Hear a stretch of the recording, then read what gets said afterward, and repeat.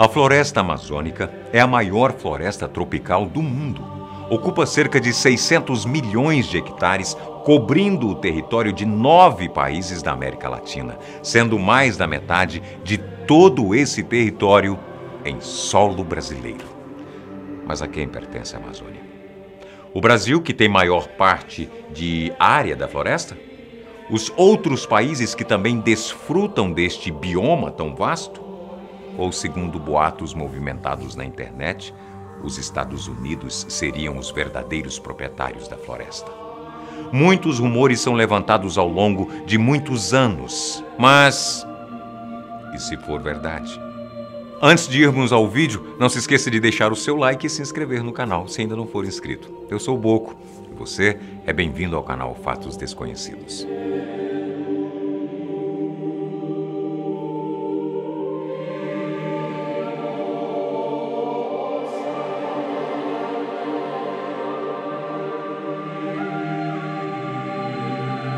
Você já deve ter ouvido falar que a floresta amazônica, de alguma maneira, não pertence de fato ao Brasil. Que outras nações ao redor do mundo poderiam ter influência sobre esse território. Países como Alemanha, Inglaterra e Estados Unidos poderiam ter autoridade sobre a floresta. Com o mundo enfocando nas promessas da biodiversidade e os perigos do aquecimento global, um coro de líderes internacionais declarou abertamente que a Amazônia é um patrimônio muito maior do que simplesmente pertencer a apenas as nações que compartilham seu território. Abre aspas. Ao contrário do que os brasileiros pensam, a Amazônia não é de propriedade deles, pertence a todos nós, disse Albert Arnold Al Gore Jr então senador americano, em 1989. Tais comentários, de fato, reacenderam velhas atitudes de protecionismo territorial e despertaram vigilância para invasores estrangeiros disfarçados. Mas como podemos definir algo como sendo nosso e como nos tornamos proprietários de algo? Existem três maneiras de adquirir propriedade sobre alguma coisa. Você pode comprá-la, recebê-la como um presente, ou apropriar-se de um recurso que antes não era de propriedade de ninguém. Então a Amazônia pertence ao Estado brasileiro. Na verdade, o governo brasileiro possui o território onde a floresta amazônica está localizada. Mas legitimamente possui esta área? Devemos entender a diferença entre posse e propriedade.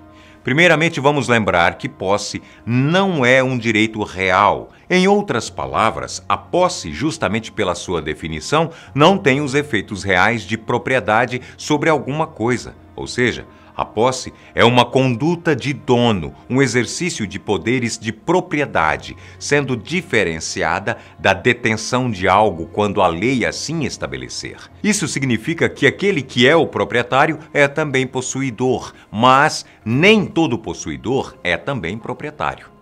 Agora, a propriedade é um direito real. Em nosso Código Civil de 2002, consta no artigo 1228.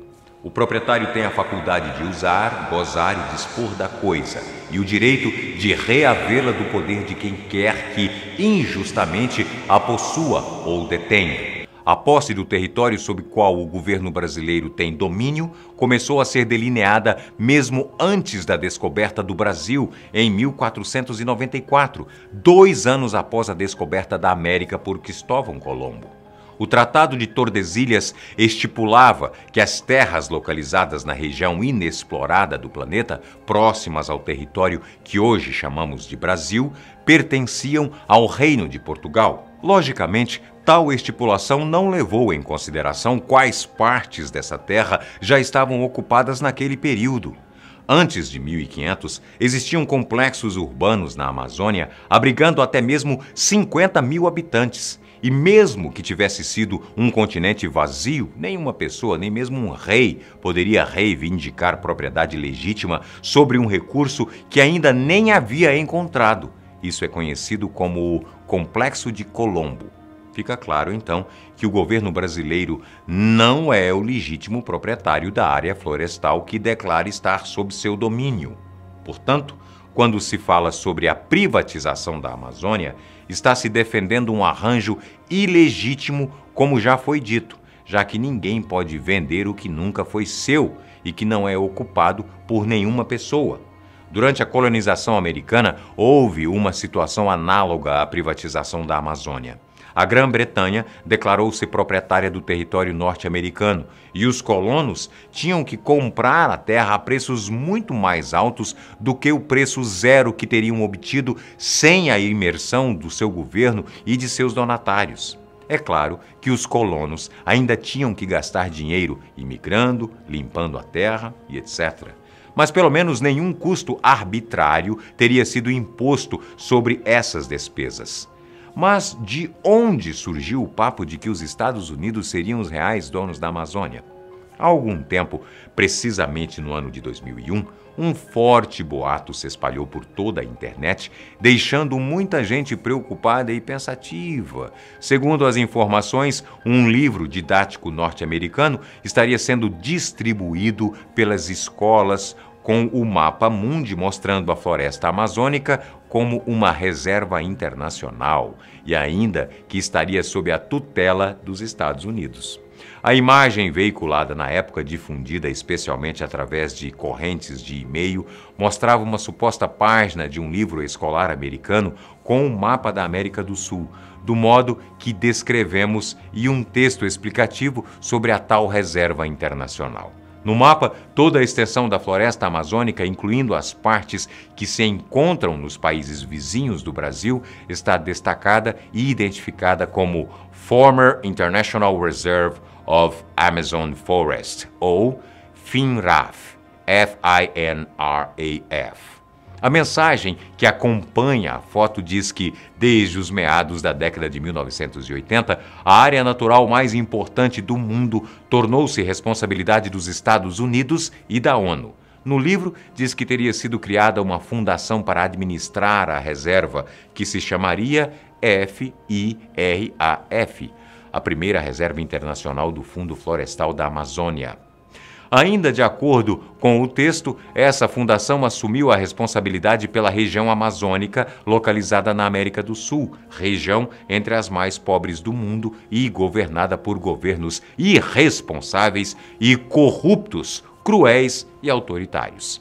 A área faz parte de oito países diferentes, cujas populações consistiam em tipos violentos, traficantes de drogas e ignorantes analfabetos a primitivos. Diz ainda que a fundação do FIRAF foi aprovada e apoiada pelas nações do chamado G23 e é um desafio genuíno para os Estados Unidos e uma dádiva para o mundo inteiro, pois a posse deste valioso bem global estava nas mãos de povos primitivos e países sem responsabilidade por esse pulmão do mundo que, sob sua administração, desapareceria em pouco tempo. Esse suposto conteúdo é da página 76 de um livro didático da sexta série intitulado Uma Introdução à Geografia de David Norman. Mas o fato é que não há evidências de que esse tal livro realmente exista. A Biblioteca do Congresso dos Estados Unidos da América conta com mais de 29 milhões de livros e outros materiais impressos e não tem registro deste dito cujo.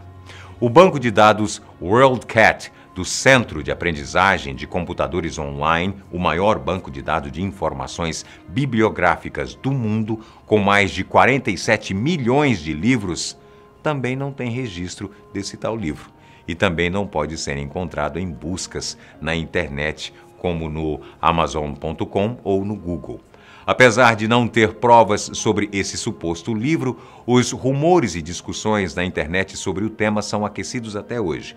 Muitos defendem essa teoria por conta da forte influência americana sobre os países latinos, aqui no Brasil e em algumas outras nações, principalmente pela influência que o país norte-americano teve durante as ditaduras militares estabelecidas no século XX.